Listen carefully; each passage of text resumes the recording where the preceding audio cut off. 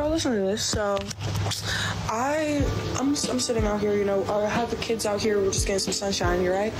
And this guy comes up, pretty cute, pretty cute, decently cute, and he was just, he saw the kids and everything, you know, and we were talking. He was like, oh, are you babysitting these two? And I go, no, they're mine. They're mine, bro. And then he was talking to me and he was like, well, what do you do? And I was just telling him what I do for work. And he was like, well, what does your husband do for work? I know, I know. I'm, I'm, I know. I'm fine. I'm, not, I'm pretty. I'm pretty. You would think I'd be married and have kids, right? No, I'm a single mom, baby. I'm a single mom.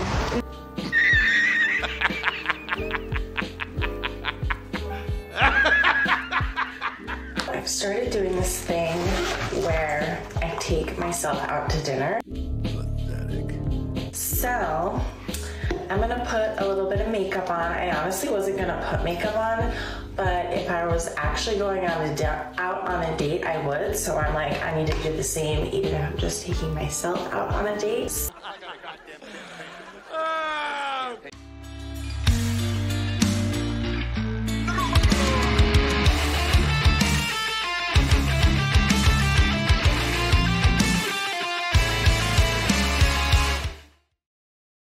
Ladies and gentlemen, welcome back to the channel. Today's episode is about single mothers. Now, I have to be honest, I sympathize with single mothers. Uh, I think that they have a lot of work to do. I think that they go through really big hardships, right? It's not easy out there. Uh, they have it hard. They have to take care of a kid. Uh, oftentimes, they, they haven't done any mistakes to get in that place, right? Talking about widows, uh, another woman that just you know face the adversities of life, and the husband just is is not around on earth anymore. Uh, those cases, however, that I do sympathize with are like one or two percent at best, if we're being generous. But today, guys, we're not going to talk about widows. We're not going to talk about these traditional wives, really good uh, mothers who just happen to lose the father of the of the kid. Today we're going to talk about the 98%, the rest of the cases, which is women just making bad mistakes. That's all it is. It's just them being sometimes entitled, sometimes delusional, uh, sometimes wanting to upgrade their husband, uh, and they're left with nothing. So let's start, gentlemen, and let's see. Bro, listen to this. So, I, I'm, I'm sitting out here, you know, I had the kids out here, we're just getting some sunshine, you right? And this guy comes up, pretty cute, pretty cute, decently cute, and he was like, looking for yard work to do around the neighborhood and I was like, "Oh, I I just live here. I'll have to ask my parents, but like I usually do the yard work, so please come do our yard work." And he was just he saw the kids and everything, you know, and we were talking. He was like, "Oh, are you babysitting these two? And I go, "No, they're mine." They're mine, bro. And then he was talking to me and he was like, Well, what do you do? And I was just telling him what I do for work. And he was like, Well, what does your husband do for work? I know, I know. I'm, I'm, I know. I'm fine. I'm not, I'm pretty. I'm pretty. You would think I'd be married and have kids, right? No, I'm a single mom, baby. I'm a single mom. I'm a single mom. All right. I mean, this guy, quite confused. I don't blame him. Uh, if he, especially if he was maybe some old gentleman, uh, which I don't think he is in the case, but yeah, especially people from older generations, sometimes they cannot understand how a woman is already a single mother in her early 20s. Like, when did you have the time? Notice, gentlemen, how women will say that the, the best age to find a serious partner is around 30, right? When they're in their 20s, it's time for the hot girl summers. It's time for the you know, going to clubs and all of that, having your fun, being liberated. For them, for modern women, the best age to start looking for someone serious is at 30. Yet notice the incredible amount of single mothers we have in the early 20s. So you don't have time to find a good serious man in your 20s because oh I'm I'm grinding, you know, I'm climbing the corporate ladder. It's too early for me. I, I don't want to be, you know, tied to a chain to a marriage. Yet somehow those same rules don't apply uh, when they have that one kid um, in that one night they didn't use protection with Chad, or, or they just straight up decide to marry the the guy who is extremely unavailable, thinking that they have finally caught on to him, uh, only for him to go buy some milk afterwards. You know what I mean? And most of these women are not even in marriages. It's just the kid is a product of mistakes. you know, as sad as it sounds, it's just how it is. So really interesting there. They don't have time for the good guys in their 20s, yet they always make up time for that one Chad that then leaves them with a kid and flees away. Interesting. I know though, my umbrella, right? I'm too pretty to be a single mom. I'm crazy enough to be a update on dating that no one asked for, but I'll give it anyways. Um, I have definitely been softly rejected. Um, they texted me on my birthday. Have again the septum piercing, which is the piercing on the nose that usually cows and pigs wear. So maybe this woman uh, just feels feels represented uh, by by these animals. Which not to throw any shade at these animals, man. Uh, but if there's one guy, because I've never seen or heard about a man who likes the septum piercing, there is one out there, just one, watching this video. Can you please leave a comment down below? I'll pin it if I see one. You know, mention why you like those piercings. Not to make fun of you, absolutely not. Uh, you can have your bad stylistic choices and preferences in women. It's absolutely alright. I'm just interested. Is there a man on planet Earth that likes this septum piercing? Saying happy birthday, and I said, Thanks for remembering. Um, let me know if you want to go out soon. And they wrote, Yeah, for sure. I'll let you know when things in my life chill out. Yeah. I just wish people were more honest and just be like, you know what? I'm not really interested anymore. That's it. Just tell me you're not interested. I don't need to be left to linger back here, okay? Um, yeah, and don't listen to your friends because now I'm left with this gay manicure for no reason. Super fun. It's always so funny when like one woman gets the, the, the treatment that men get throughout their whole life. You know, it's like, oh, first time. Oh, you've been ghosted? Really? Well, tell me more about it. You know, acting all surprised, all the gentlemen here. Like, when it happens to women once, they lose their minds. They start with the, come on, guys, uh, let's be more honest. Come on, boys, uh, why are you playing these games? You know, we are mature, we are old. Yet they do this to men all the time. Like if you've been on dating apps, leave a comment if you have never been ghosted. Leave a comment if you have never been played on just to uh, pay for the meal or kept as an orbiter that can eventually provide something. Or even you're not even seeing these women; they just keep you in, in their chats uh, to to shower them with attention and validation. You know, they do this all the time, all the time. Yet when they get to 30, eventually, you know, when they hit the wall, this one guy will do the same to them. And then we have a problem. Then we start those conversations of, come on, boys, uh, let, let's be adults here. But now, guys, let's go to this other woman that is dating herself. Extremely sad, but let's find out. So, I've started doing this thing where I take myself out to dinner, and I don't have my kids right now. Their dad has them. So I'm gonna put a little bit of makeup on. I honestly wasn't gonna put makeup on, but if I was actually going on a out on a date, I would. So I'm like, I need to do the same, even if I'm just taking myself out on a date. And I thought it would be fun to get ready and talk about dating as a single mom. I have been a single mom since February.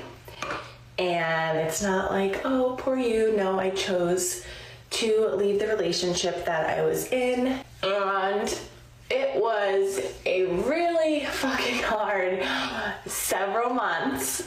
But. We have one of the extremely rare occasions in which a woman uh, decides to leave the family. Uh, really rare, extremely, you know, occasionally it happens, but modern women overall most known for their devotion to their husbands, uh, most known for their loyalty and their ceaseless efforts to keep the family going. But, you know, sarcasm aside, no, we, we have yet another case in which a woman leaves a marriage, which is like most of the times. I, I always remember this statistic that what was like, like 80%, 70, 80% of divorces are initiated by women. All the statistics are there, gentlemen. You can just check them in five seconds on Google. It's just woman nature facilitates uh, the, this modern phenomenon that is women. Let me phrase that again. Women being so entitled nowadays, nowadays is facilitated uh, by female nature to, you know, always look for something better, which is something good in some occasions. I value that. I appreciate that in women. When you have a good traditional woman, that desire of her to keep improving things is actually something that can help you better the relationship or you know be be more close to each other. It's a good thing right? Uh, but when taken too far and these women do take it too far uh, it becomes a vice. They, they just are never pleased with anything. It's impossible to satisfy them. Uh, they will break the relationship for any reason at all it's, it's it's like almost impossible man to to be with most women nowadays this is why so many guys are deciding i'm not going to get married what for i mean most common scenario, you're just gonna divorce me and take away my kids and my property. I can honestly say that now I am in a much better place. I am so happy. Um, I love my life. My kids and I just moved back to Arizona where they were born. Yeah, so me, me, me. I got a divorce and I'm better off now, so it was worth it I think that these women should think from time to time, uh, not not whether if they could do something, but if they should do something. Not everything that makes you feel better in the most superficial, stupid way is actually something good. Because in this case, yeah, maybe you feel better, uh, even though you're not and you're being delusional. Maybe you feel better, but that comes at the expense of your husband whom you've promised, you know, that you'll be till death do its part. Uh, it comes at the expense of your kids not seeing their father as often or at all, right? Like someone has to pay the price for you to feel better, which makes you a self-centered, self-absorbed a-hole. So what if we stop thinking about ourselves all the time and we focus a little more on someone else? Look, if you if you don't want the responsibility uh, of having a marriage, don't have a marriage right? It's that easy. You want to be single all the time. You want to jump from Chad to Chad. All right do that. Don't hook another person into your life only to then a few years later divorce him and take away his children i, I don't understand these people guys it really shows how egoistical they are they don't care if they've promised something on the altar they don't care about the children. They don't care about the person they supposedly love. Uh, they just want to feel better. When they feel single, they get married. Uh, when they feel like they can get something better, they just divorce.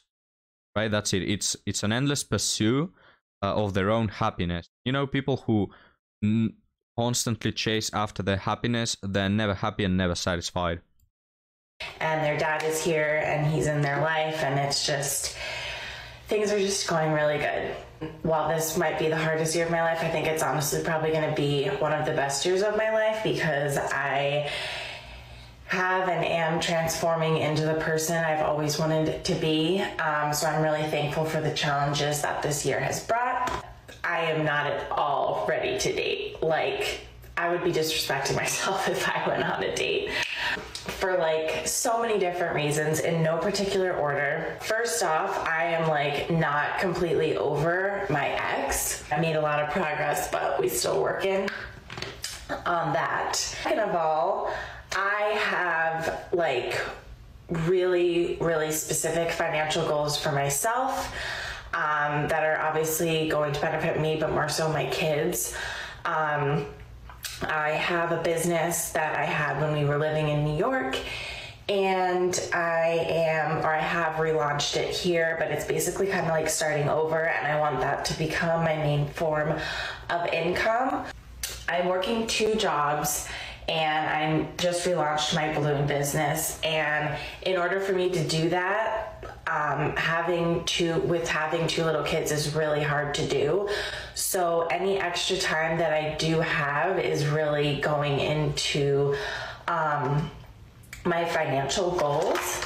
Third, my kids are my priority, and right now I literally have no time. Like, I took the night off actually from work tonight um, because I my eye is literally twitching. I'm so tired. Um, we just moved here two weeks ago, and it has been an adjustment, a lot of running around.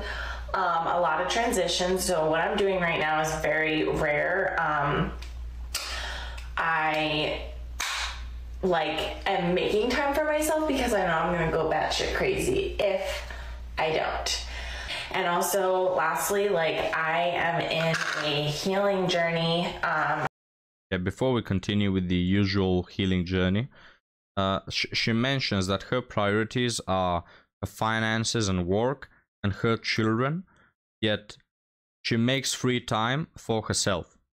Like, you would think that a person who has some free time would invest that into your, your business or invest that into your children. There's always something to do around. Uh, but she does that for herself, which doesn't come as a surprise really after already noticing that this woman is quite self absorbed. You really thought about your children that much. If they were your first priority, you probably wouldn't you wouldn't divorce, right? And now, of course, someone may come and say, oh, he done, maybe she was mistreated, maybe she was getting beaten every day. No, guys, it's the usual reason. I'm 99% sure uh, that she got divorced because irreconcilable differences or uh, because, I don't know, he was putting more time into work than her or like some really little and stupid problem that could be solved by having a bunch of conversations uh, instead of just divorcing him right? But I mean, we've come to learn that this is what a lot of women nowadays find as a solution.